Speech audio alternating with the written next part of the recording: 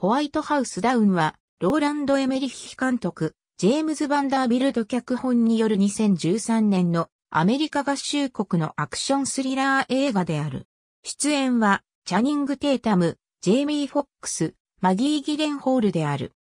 アメリカ合衆国では2013年6月28日より劇場公開された。当初は2013年11月2日公開が予定されていた。元軍人のジョン・ケールは、イーライ・ラフェルソン下院議長の甥である5長を戦場で助けた縁で彼の警護を担当する議会警察官の職を得ていた。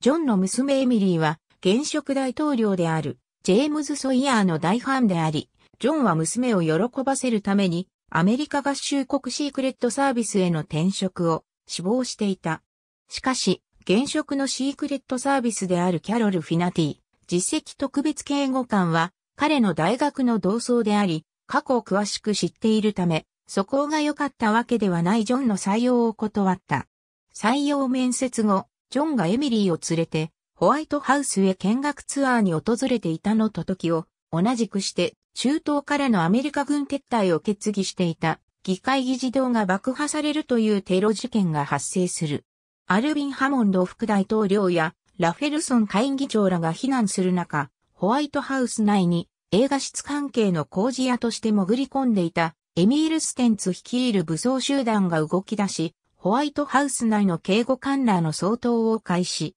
シークレットサービスやガードマンらが次々と射殺される中、ジョンはテロリストの襲撃騒ぎでは、ぐれてしまっていた娘を探すため、隙をついて傭兵の一人を倒し、装備を奪ってホワイトハウス内で単独での捜索を始める。一方、シークレットサービスのリーダーであったマーティン・ウォーカーが突如離反し、自身の部下を次々と殺害して、ソイヤーを拉致しようとする。ウォーカーがテロの首謀者であったことを知り愕然とするソイヤーだったが、偶然、娘を探して近くを通りかかったジョンが現れ、大統領は銃撃戦の末にウォーカーから逃れることに成功し、ジョンと行動を共にすることとなる。ウォーカーはソイヤーの拉致に失敗するも、ステンツたちに彼を生きたまま確保するように指示しつつ、残っていた閣僚やツアー客の民間人らを手中に収め、ホワイトハウスから離れていたフィナティにホワイトハウスの選挙を宣言し、多額の現金と輸送機を要求。2時間以内に要求が聞き入れられなければ、人質を殺害すると宣告する。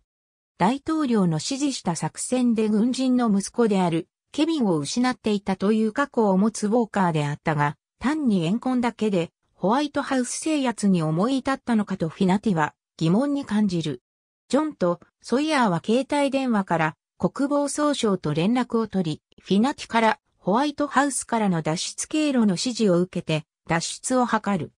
一方、エミリーがテロリストたちの映像を YouTube にアップロードしたことで襲撃犯たちの蘇生が判明してしまい、ステンツたちは激怒する。ジョンとソイヤーはステンツたちの追撃をかわしつつ地下道から脱出を図るが出口を封鎖されていたため断念し、大統領専用車に乗り込み地上からの脱出を図る。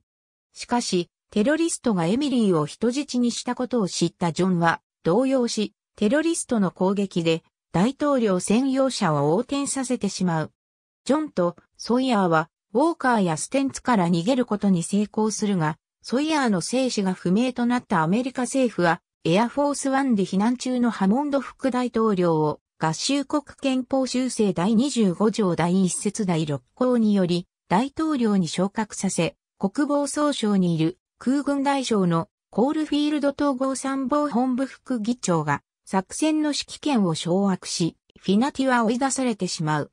ジョンは負傷したソイヤーを治療した後、一人でエミリーを助け出そうとするが、そこにコールフィールドの命令で出動した救出部隊が到着する。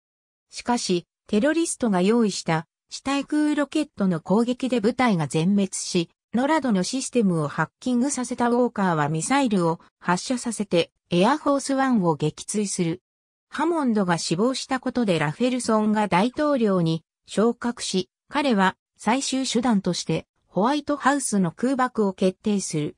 一方、ウォーカーはエミリーを殺すと脅して、ジョンを投降させようとし、彼女を守るためにソイヤーが投降する。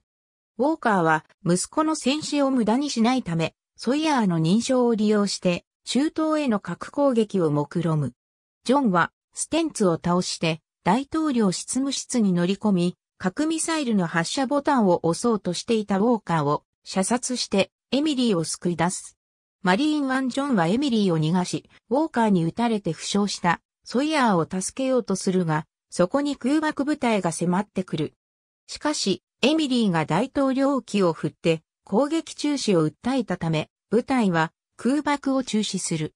ホワイトハウス周辺に集まっていた群衆やマスコミは、エミリーに駆け寄り事件の解決を喜ぶが、ジョンは独自にウォーカーの情報を探っていたフィナティから、ウォーカーを操っていた黒幕がいることを聞かされる。黒幕の正体が中東からの撤退に反対する軍産複合体の支援を受けているラフェルソンだと知ったソイヤーはラフェルソンを反逆罪で逮捕する。事件が解決し、ソイヤーはジョン、エミリー、フィナティ、コールフィールドと共にハミングバードに乗り、ホワイトハウスを後にする。括弧内は日本語吹き替え、ホワイトハウスダウンは、プロデューサーの一人であるジェームズ・バンダービルトの脚本に基づき、ローランド・エメリッヒが監督している。2012年3月にソニー・ピクチャーズは、バンダービルトのスペックスクリプトを300万ドルで購入した。ハリウッドリポーター氏はその脚本を、ダイハードとエアフォースワンと同様のトーンとテーマであると書いた。同年4月、ソニーは監督としてローランド・エメリッヒを雇った。エメリッヒは2012年7月にカナダケベック州モントリオールのラシテリュシネマで撮影を開始した。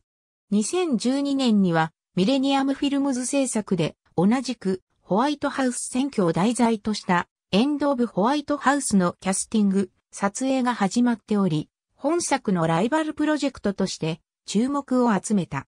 エンド・オブ・ホワイトハウスはシークレットサービス所属の主人公による現場のリアルさを重視しているサスペンスアクション作品なのに対して、ホワイトハウスダウンはコメディ的な要素を取り入れたアクション映画となっている。アメリカとカナダで公開初週末に2490万ドルを稼ぎ、初登場4位となった。しかし、この数字は当初の予想を下回るものだった。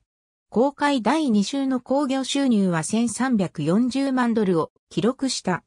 2013年10月、ソニーピクチャーズは6月、7月、8月の映画事業の損失の合計が1億9700万ドルになったことを発表し、ホワイトハウスダウンの失敗が大きな原因と述べている。